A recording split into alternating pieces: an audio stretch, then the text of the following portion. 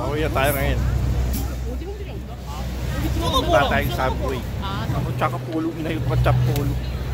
Masitis niya sa Sorry. Nakaw na nga subway station. Natapos na yung aking paggagala. Maaga kasi kung pinauwi ngayon eh.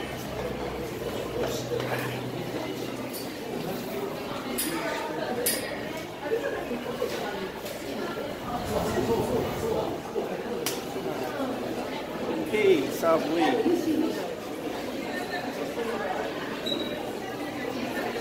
That's an Rockefeller Center.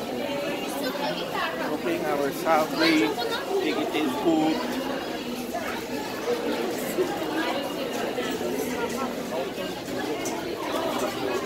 Right, tayo.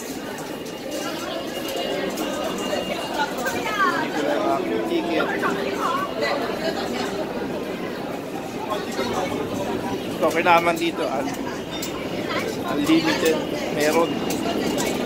Ah, fuck.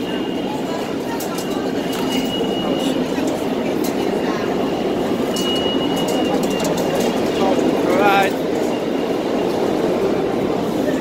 Bawian tayo ng free. Ano nangyari? Okay.